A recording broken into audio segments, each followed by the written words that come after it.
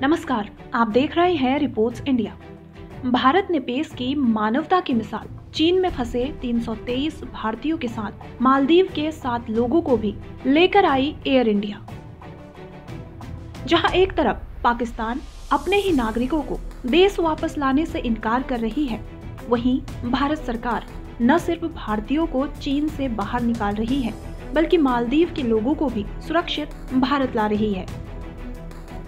चीन के वुहान प्रांत में कोरोना वायरस के चलते वहाँ फंसे भारतीयों को भारत वापस लाने वाली एयर इंडिया की दूसरी फ़्लाइट रविवार को दिल्ली पहुंचेगी। बताया गया है कि ये फ़्लाइट वुहान से तीन बजकर दस मिनट में रवाना हुई। ये स्पेशल फ़्लाइट नौ बजकर चालीस मिनट पर दिल्ली पहुंचेगी। इस स्पेशल फ़्लाइट में 323 भारतीय नागरिक सवार हैं। इसके साथ ही मालदीव के सात लोगों को भी इसी विमान से वापस लाया जा रहा है। चीन में भारत के राजदूत विक्रम मिश्री ने कहा कि वुहान से दिल्ली के लिए रवाना हुई एयर इंडिया की दूसरी स्पेशल फ़्लाइट में 330 लोग हैं। मालदीव के नागरिकों को भी वुहान से भारत लाए जाने पर मालदीव ने भारत का आभार जताया है। मालदीव के विदेश मंत्री अब्दुल्ला साहिद ने कहा कि वुहान चीन में सात मालदीव एयर इंडिया की विशेष उड़ान पर दिल्ली पहुँचे। उन्हें दिल्ली में ही इलाज के लिए एक निश्चित अवधि तक रखा जाएगा। इसके लिए पीएम नरेंद्र मोदी और विदेश मंत्री डॉक्टर जयशंकर का आभार प्रकट करता हूँ। चीन में फैले घातक कोरोना वायरस संक्रमण के कारण मरने वालों की संख्या बढ़कर 304 हो गई है और इससे 14,380 लोगों के संक्रमित होने की पुष्टि हुई है राष्ट्रीय स्वास्थ्य आयोग एनएचसी ने अपनी दैनिक रिपोर्ट में बताया कि शनिवार तक इस बीमारी के कारण 304 लोगों की मौत हो गई और 14,380 लोगों के इस विषाणु से संक्रमित होने की पुष्टि हुई है। चीन के एनएचसी के अनुसार सभी लोगों की मौत हुबई प्रांत में हुई है। आयोग ने बताया कि शनिवार को इस संक्रमण के चार हज़ार पाँच सौ बासठ नए संदिग्ध मामले सामने आए।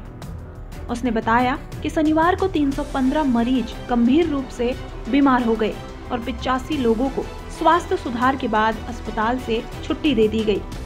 आयोग ने बताया कि कुल 2110 मरीजों की हालत गंभीर बनी हुई है और कुल 19,544 लोगों के इस वायरस से संक्रमित होने का संदेह है। कुल 328 लोगों को स्वास्थ्य में सुधार के बाद अस्पताल से छुट्टी दे दी गई है।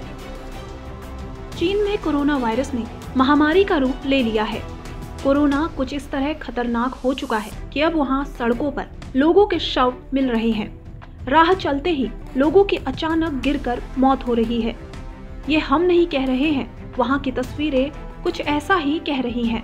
एक रिपोर्ट के मुताबिक, चीन के वुहान शहर में ऐसे मामले सामने आ रहे हैं। मास्क लगाए हुए एक साइकिल चालक अचानक गिरा हुआ मिलता है और जब उसके पास मेडिसिन की टीम पहुंचकर देखती है तो वो मरा हुआ मिला। गौरतलब है कि कोरोना वायरस के चलते वर्ल्ड हेल्थ ऑर्गेनाइजेशन डब्ल्यू ने वैश्विक स्वास्थ्य आपातकाल घोषित किया है, जबकि चीन ने कहा है कि सभी देशों को जिम्मेदार बर्ताव करना चाहिए और अत्यधिक प्रतिक्रिया से बचना चाहिए। चीन के विदेश मंत्री वांग यी ने कहा कि वे सभी विदेशी नागरिकों की सुरक्षा करने का आश्वासन देते हैं।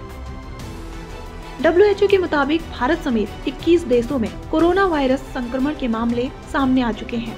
इनमें चीन हांगकांग दक्षिण Korea America France Germany Bharat Sri Lanka Nepal Thailand Malaysia Cambodia Japan Australia Singapore Taiwan Macau Vietnam UAE, रूस और ब्रिटेन शामिल हैं।